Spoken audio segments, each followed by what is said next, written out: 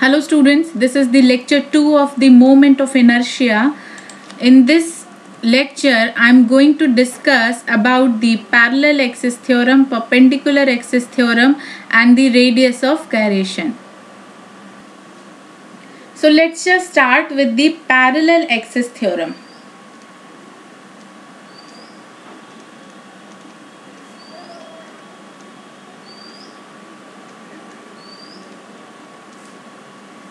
In this parallel axis theorem, if we consider a plane lamina, see this is the, we are considering this horizontal axis as the axis AA and the vertical axis as the axis BB. Now, uh, if we consider a plane lamina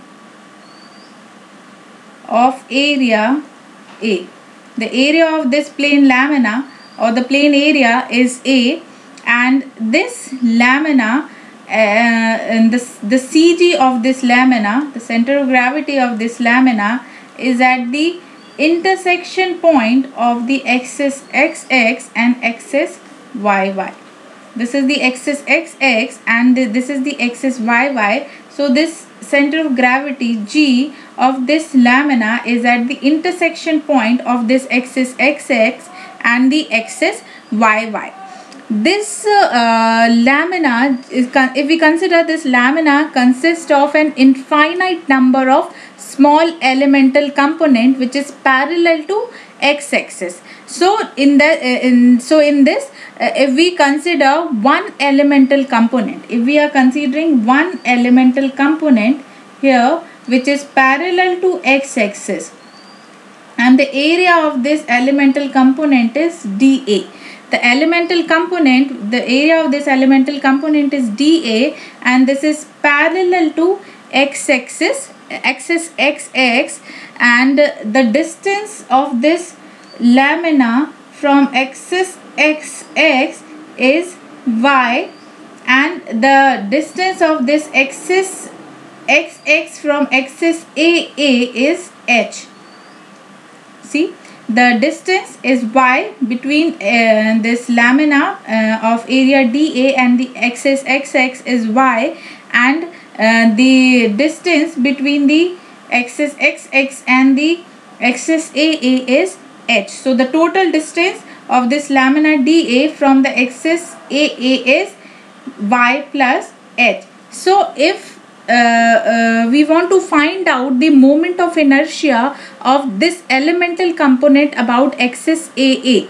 See the moment of inertia of elemental component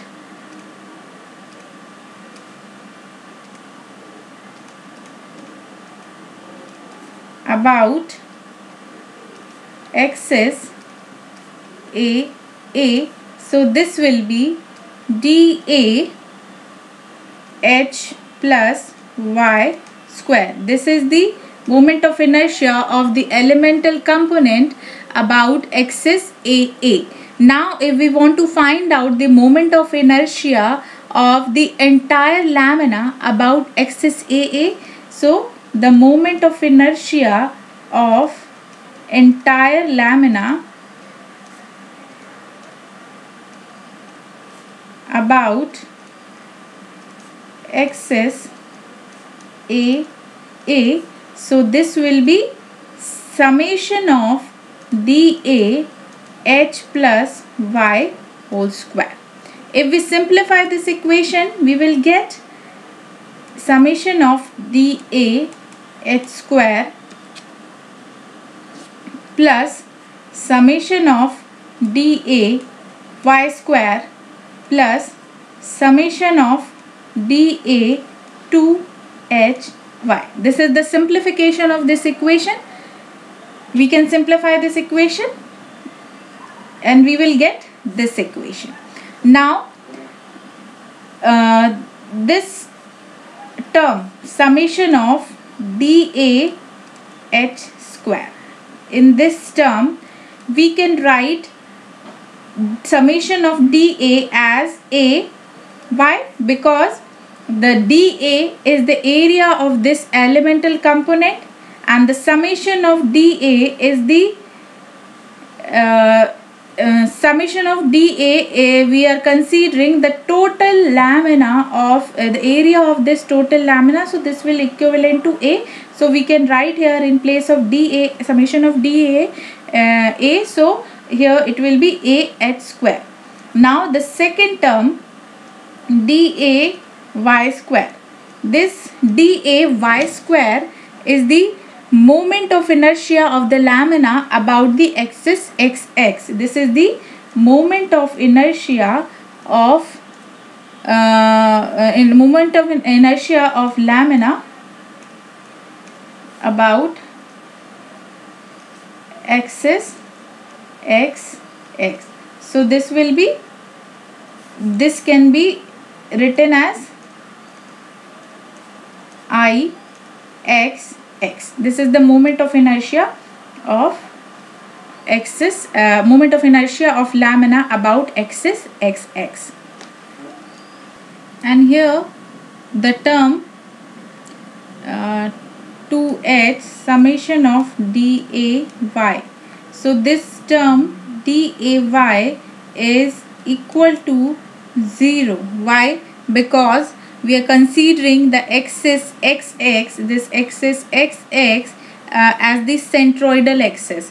So uh, uh, the this uh, moment of area will be 0 the moment of area about x-axis uh, that is summation of dAy this will be 0 because the axis xx is the centroidal axis. So here h square summation of dA is a h square and summation of dA y square uh, equal to ixx this is the moment of inertia of the lamina about x-axis and the summation of dAy equal to 0 because of xx is the axis xx is the centroidal axis. So if we put all these things in this equation in this equa in this equation now uh, if we write here the moment of inertia of entire lamina about axis AA as IAA. IAA is the moment of uh, inertia of the entire lamina about the axis AA. So that is equivalent to summation of uh, this uh, summation of dA h square that is A h square. So this will be A h square plus and this summation of dAy square is the uh, ixx and the third term will be 0 because of uh, centroidal axis xx uh, we are considering axis, axis xx as the centroidal axis so this equation will denote or we can say this equation is the parallel axis theorem. So we can say the parallel axis theorem uh, is uh, says that the moment of inertia of the plane lamina about any axis. This uh, here IAA we are considering as the moment of inertia of the plane lamina about any axis and that axis is axis AA that is equivalent to sum of the moment of inertia uh, uh, moment of inertia of the element about a parallel axis through its center of gravity g. So here ixx is uh, we are taking as the moment of inertia of this elemental component about axis xx so this will be the first term and the second term plus uh, the product of its area and the square of the distance between the two axes uh, two axes so this uh, this term is showing the product of the area and h is the uh, uh h is showing the distance between the two axes so we can say this iaa equal to a h square plus ixx this is the parallel axis theorem this is uh, for uh, moment of inertia of the component of the entire lamina about axis AA. If we want to find out the component, uh, we want to find out the moment of inertia about axis BB. So it will be IBB equal to A if we are taking uh, the distance is a j j the distance we are taking j so it, it will be aj square plus i y y So this will be the parallel axis theorem. Second theorem is the perpendicular axis theorem.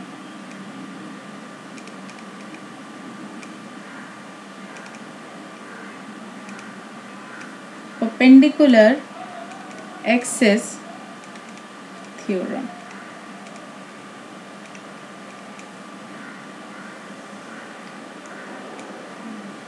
Now here if we are considering a plane lamina again we are considering a plane lamina of area A.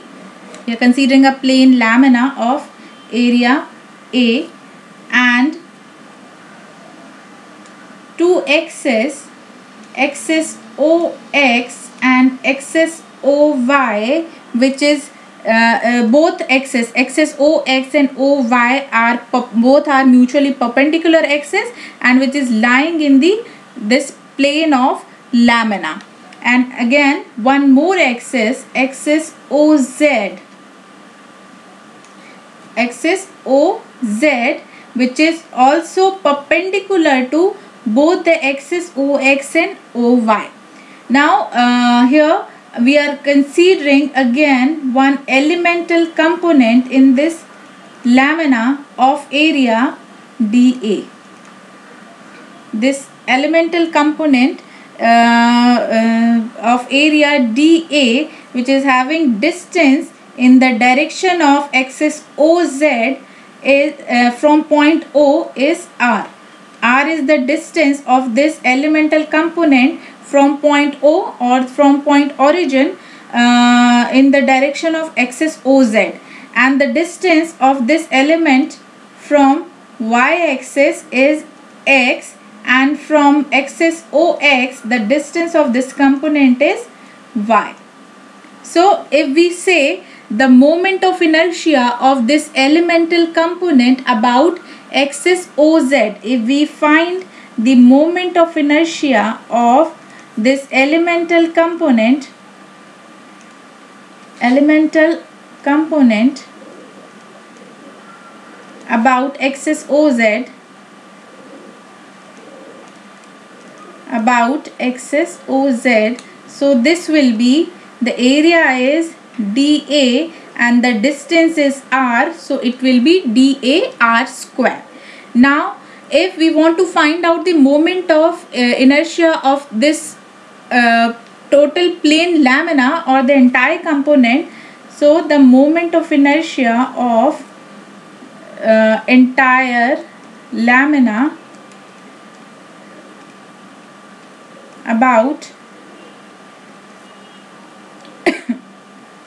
axis OZ so this will be same summation of dA r square if we simplify this dAr square, it will be summation of dA. This r square will be this r square if we apply the triangle, uh, uh, if we consider this O, if we uh, consider here this is the small z, if we consider this uh, triangle OZ and this is small, uh, this is, uh, sorry, uh, this is O, A and B. If we consider this is the triangle O, A and B, so from this triangle OAB we can find out the distance uh, OB if we are considering this distance OB as the R and the distance AB as the Y and the distance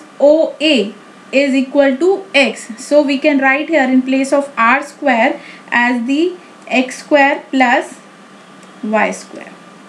So this will be summation of dA x square plus summation of dA y square. So we can say the summation of dA x square. This is this uh, term denote the moment of inertia of the lamina about the axis OY. This is the moment of inertia of lamina about axis OY and this term summation of DAY square is the moment of inertia of lamina about axis OX. So we can write here I, this is uh, about axis OY. So it will be I, Y, Y and this will be I, X, X. So this moment of inertia of entire lamina about axis OZ will be written as IZZ. So this is the perpendicular axis theorem IZZ equal to IXX plus IYY which shows the moment of inertia of the plane lamina about any axis which is perpendicular to the plane of lamina is equal to the sum of the moment of inertia of the lamina about the two axes which are right angle to each other and which are intersecting each other at the point where the perpendicular axis passing through it. So this is the perpendicular axis theorem. The next term is the radius of gyration.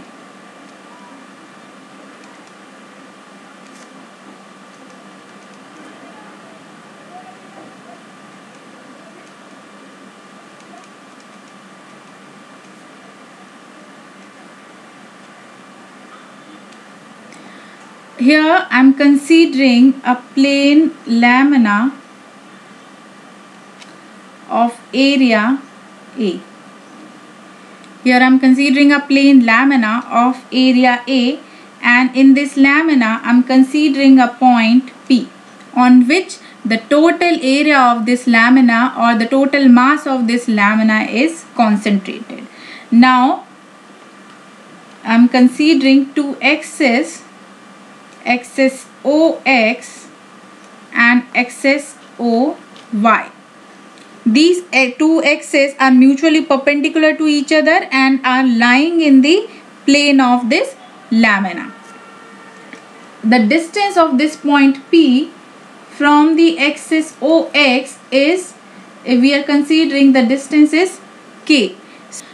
If we are considering the total uh, area of this lamina is concentrating at the point P or, or at a particular point. In that condition there will be no change in the moment of inertia about the given axis. Uh, here if we are taking the moment of inertia about the axis OX so there will be no change in the moment of inertia uh, because of this concentrated mass or concentrated area. So here the distance of this point from the axis OX or any particular axis about which we are taking the moment of inertia is called radius of gyration. That this distance of this the distance of this uh, point P and the axis OX is called the radius of gyration. So if we take the moment of inertia about the axis OX that is if we are denoting this by I so it will be A k square. So we can find out this k as under root of i by a. So this is the radius of gyration. Thanks for watching the video and subscribe the channel for more lectures.